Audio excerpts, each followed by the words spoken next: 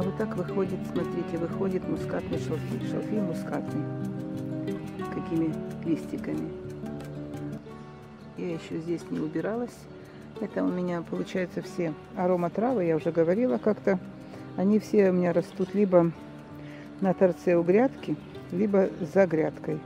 Здесь мускатный шалфей. Еще раз вам показываю листики. Красивые какие. Потом дальше любесток. А потом за ним идет, а за ним идет тархун. Тоже вот так. Я щипаю его уже, уже щипаю, я уже говорила в каком-то видео в том году. Вот эти верхушечки, они очень мягенькие. И когда кто любит поесть раннюю зелень, очень хорошо. Куст растет высоким, я потом вам покажу. А весной он мягенький, верхушечки мягенькие. Пожалуйста, у кого есть, можете принимать в пищу витамины. А эту грядку я уже посеяла. Прошлогодняя рукола у меня здесь. У меня рукола многолетняя в этом году посеяла. Вы знаете, она хороша. Мы уже едим, едим, щипаем и щипаем ее. А здесь так, то редиска. Редис посади, посеяла, потом этот шпинат, салат. Это редис, видно, что выходит. Это я не пойму, что выходит. Ну, здесь салат, шпинат и укроп, по-моему, я сеяла. А вот на торце то, что я говорила, здесь чебрец или тимьян, а там мелиса.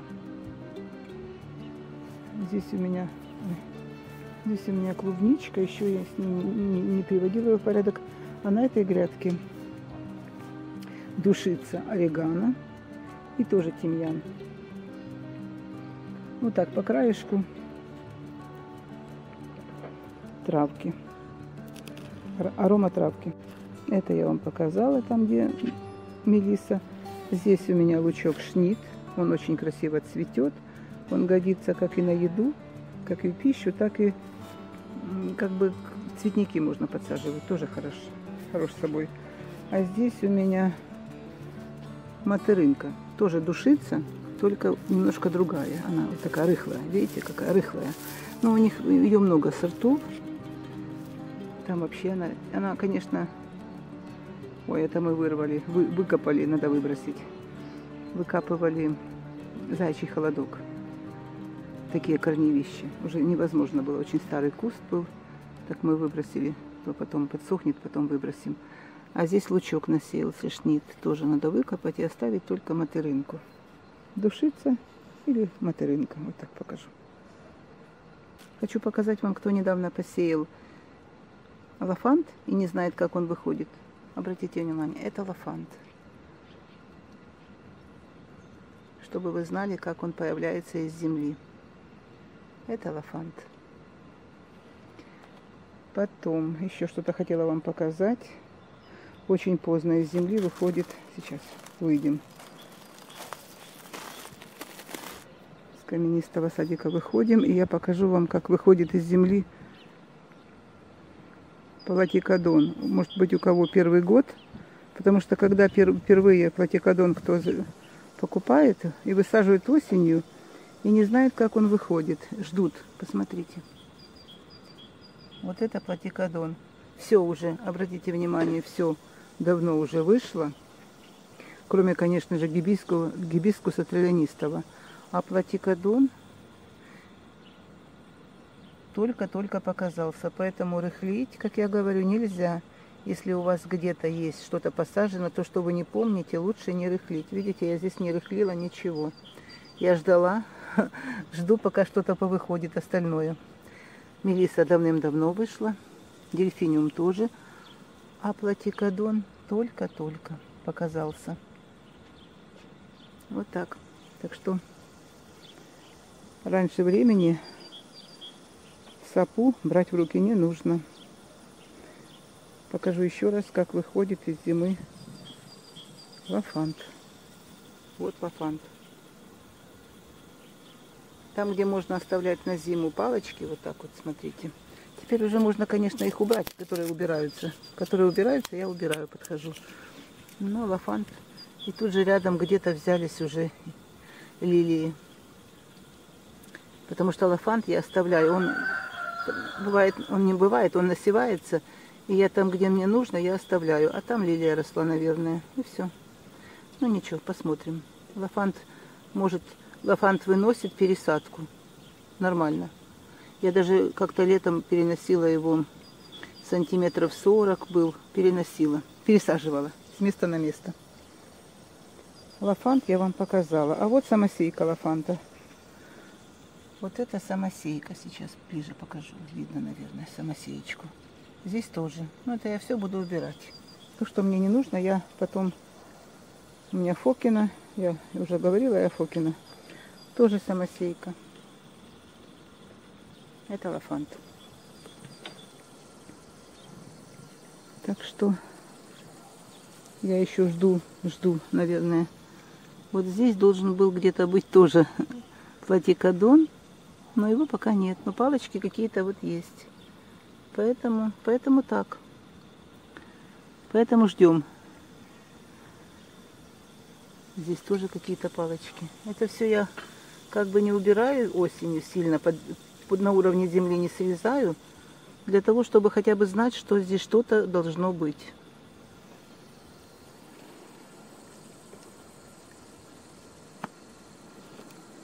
Я вам все показала. Наверное, достаточно уже. Сад преображается, немножко затягивается. Немножко затягивается в красоту. Как бы вся, все зелено. Все лучше и лучше. Все было бы хорошо, если был свободный вход и выход на дачу. Как бы. Захотела, приехала, захотела, уехала, а так... А так... Ну ничего, все будет хорошо. Еще хочу с вами поделиться такой вот, можно сказать, радостью. Это, это анимона. И она у меня ранней весной вышла. Вышла ранней весной. И начала, вот, посмотрите, это все пропало. Она примерзла. И я даже звонила Нине Брусник, это же она мне дала ее, когда я была у нее в гостях. И я Нине Брусник звонила, печалью такой. Ой, у меня анимона замерзла, что будет? Она говорит, не переживайте, все будет хорошо. И правда, посмотрите, отошли. Вот это новый листик, этот листик, этот, это все, я так понимаю, уже засохло. Вон там тоже идет листик. Она же у меня, получается, не на брусник, мне в том году весной дала, в мае. Поэтому я не понимаю, как она развивается. Кстати, это ее гейхера, тоже красотка. Она была, я вам показывала ее раньше немножко. Она была такая, ну, вон старые листики. А теперь она, она же как салатово-зеленая такая будет. Очень красивый цвет, но это зимние, зимы вышли листики такие. А теперь она уже показывает свою красоту. Но анимона, слава богу, отошла. Вот она. Так что я немножко успокоилась. Когда новый цветок, тем более у меня один кустик, всегда нужно иметь, вот если у вас есть новый цветок, делите сразу. Ну, не сразу, конечно же, но поделить нужно. Вот я, может быть, осенью поделю его. Почему? Потому что нет гарантии, то, что это растение никто не съест. Это растение не замерзнет.